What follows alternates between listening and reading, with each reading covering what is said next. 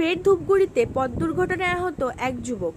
রবিবার সকালবেলা বাড়ি থেকে বের হয়ে গিলান্ডি ব্রিজ সংলগ্ন বাজার থেকে মাংস কিনে বাড়ি ফেরার পথে ধূপগুড়ি মিলপাড়া এলাকায় দ্রুতগামী গাড়ির ধাক্কায় গুরুতর আহত যুবক। আহত যুবকের নাম অভিষেক সেন।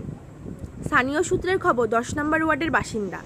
তাকে উদ্ধার করে স্থানীয় বাসিন্দা ও দমকল কর্মীরা নিয়ে যান ধূপগুড়ি গ্রামীণ হাসপাতালে। তবে এখনও পর্যন্ত পরিবারের লোক না পাওয়ায় সমস্যায় পড়েছে স্বাস্থ্যকর্মী থেকে চিকিৎসকরা।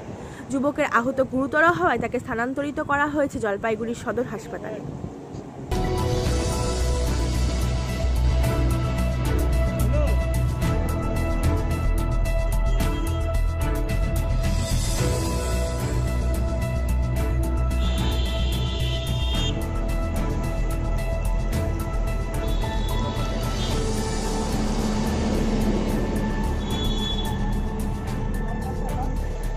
পরে আসছি দেখলাম যে গাড়িটা এদিক দিয়ে ঢুকতেছে আর ও এদিক থেকে আসছে। এই গাড়িটারই দোষ। বাইকালাটা না। টাটা এসিটার অবস্থা কীরকম আছে? ভালো না। আপনার নাম?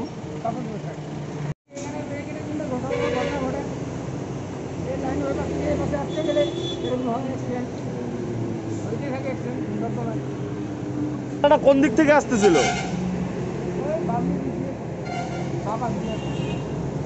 থেকে আসছিল ভিতরে দিয়ে মার্কেটে যাবে। ওই জন্য ছিল না মিডিয়াম ছিল।